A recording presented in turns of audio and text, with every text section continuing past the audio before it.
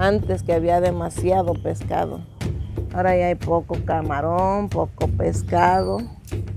Muy poco hay ahora. Ahora hay veces que tenemos que comprarlo de afuera, el camarón, para vender aquí. Ya no hay tanto como había antes. Es un cambio muy notorio ya. Va a haber más, demasiada gente que no va, tal vez no va a haber ni playas donde caminar como había antes. La misma gente aquí les están vendiendo sus terrenitos. La gente de fuera, ¿qué le vamos a hacer? ¿Qué podemos hacer ahorita?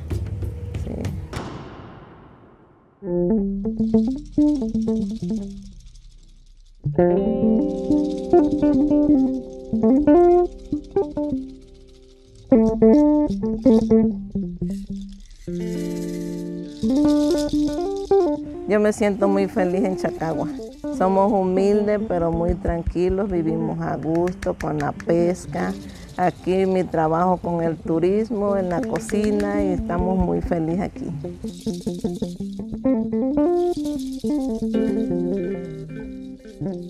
Aquí el que te hace fuerte es el turismo, el consumo del pescado, del camarón. Mi nombre es Mario Hernández, soy pescador aquí en Lagunas de Chacagua. Mi padre fue pescador, desde los 8 o 10 años yo ya era pescador. Aquí hay muchas formas de pescar el camarón, lo pesca uno con trasmayo, con tarraya. Yo ahorita me dedico más al trasmayo y el, chango. A veces al chango va uno como 6 días por, por mes. Cuando hace el mero efecto la luna, ya empieza a salir más camaroncito. Antes te ibas temprano a las, a las 5.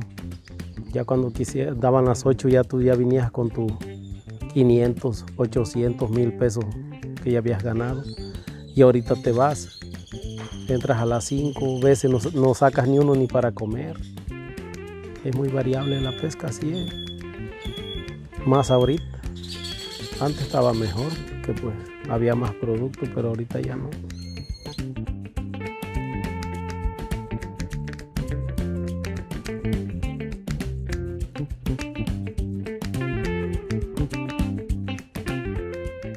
Cuando tenía este, 12 años empecé a sacar los ostiones. Mi conexión con el mar pues es este, muy bonito lo que hallo yo porque conoces muchas cosas del mar, como por ejemplo los peces. Es una conexión muy, no le podría explicar eh, porque es muy bonito eh, la conexión. Pues el alimento del mar es muy natural, es muy sabroso, es nutritivo, que uno mismo pesca su producto pues, y es fresco para la familia, algunos amigos, una visita que llega. Sí, de ahí saco para pan del día. Cuando vamos a pescar a las ostras, pues tienes que agarrar tu equipo, tu visor, tu barreta. Como por ejemplo, ahorita traje mi, mi barreta. Esta es la que ocupo para sacar los ostiones pongo mi visor, me meto al agua, agarro un poco de, aire para poder aguantar abajo del agua y meterme a darle. Ya salgo, saco uno, dos, salgo, me meto otra vez a sacar otro, a picarle, a darle. Sí.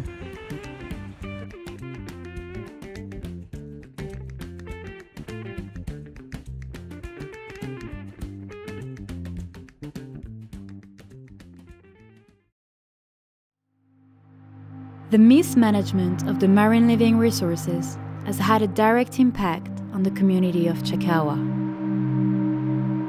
Scarcity of fish and shrimp is putting those who depend on it most at greater risk. A better controlled use of resources could help considerably to maintain the balance in the ecosystem as a whole.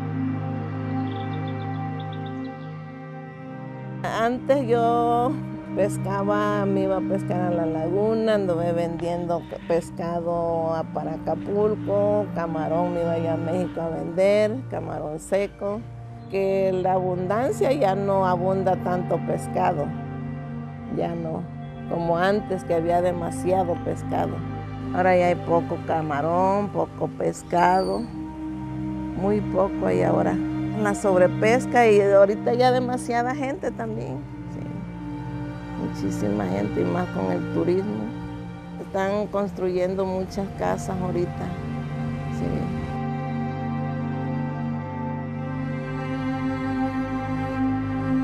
My name is Zella, and I I've been in Chicago for four years. I came to Chicago for the first time five years ago, and I came here to surf. And I stayed. Well, that's more complicated. Um, I stayed. I fell in love with the place, and then a local.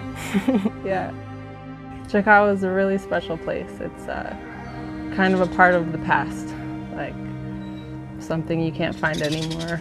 Chicago didn't change for the first couple years that I was here, not very much. And now the past year and a half, it's changed a lot. Like um, just a lot more people, a lot more development, people buying lots of land and building, and uh, and now there's just more a lot going on now. And it seems like the beginning of that, the beginning of it turning into something else, which is kind of sad for me.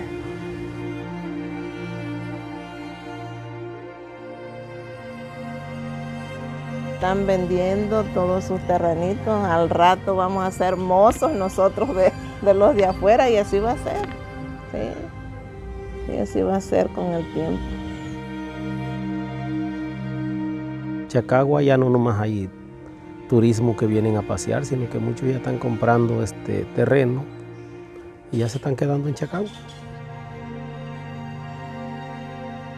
Lo que va pasando de que como vienen muchas mucha gente de dinero y se ponen a construir como una cabaña de dos pisos, así.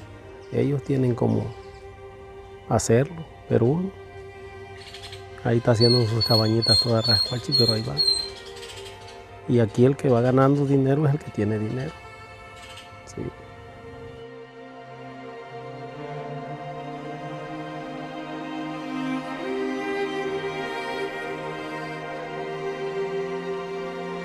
Just seems like it's changing. It's becoming more like a place where people are going to move to and open businesses. And, and that could be a negative thing because I was talking to a local woman the other day, one of Ulis, Ulises' family, and she was saying, you know, like, do you think once all of these foreigners open their businesses, their luxury restaurants, and their nice cabañas, you think anybody's going to stay here and eat our food? Like, it's not going to happen. We're not going to have work. We're not going to have land, you know. So there's definitely a downside to that. And they could control it. They have a lot of control themselves. They could prohibit that. Sí, yo aquí, aquí, pues, yo vivía de aquel lado y aquí tenía libre, nada más venía yo a lavar, a veces a pescar aquí y así me lo compraban. Eh, le decía yo, no, no lo vendo, no lo vendo porque no lo vendo. No, que te doy tanto, no lo vendo. Digo, tú vas a construir, puedes hacer hotel, lo que sea, y ya cuando yo esté vieja no me vas a ocupar ni para que yo trabaje contigo, no me vas a ocupar ya. ¿sí? Van a traer gente de afuera, jóvenes. Y aquí en mi restaurancito y voy a estar viejita en que sea cocinando y voy a estar en lo mío. Um, and obviously, yeah, obviously that's going to become a problem. All of those services, the more it grows, and if it doesn't, if it's not organized, it's just all of these things are going to be become a problem. Like there's abundance now, and there won't be if there's more people here and more construction and more. Um, I think what happens is that anybody who didn't have foresight for their children, anybody who didn't prepare, who doesn't have an extra piece of land or something to pass down, they're not going to be able to live here or they're going to be working for the other people.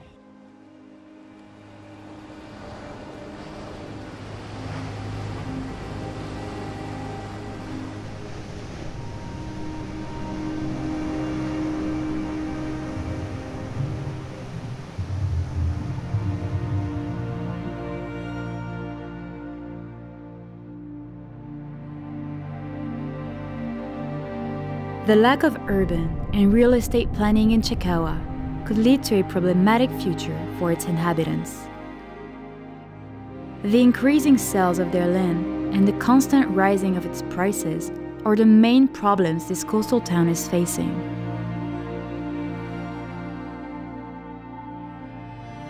But all hope is not lost.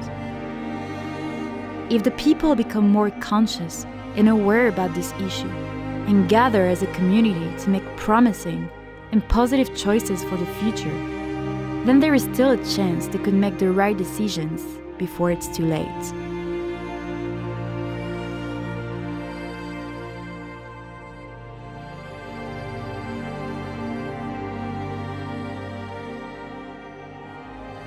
Si tuvieras que mandar un mensaje a los habitantes de Chacagua, ¿qué les dirías? Ay, que no vendieran sus terrenitos, que no nos vendieran, por favor.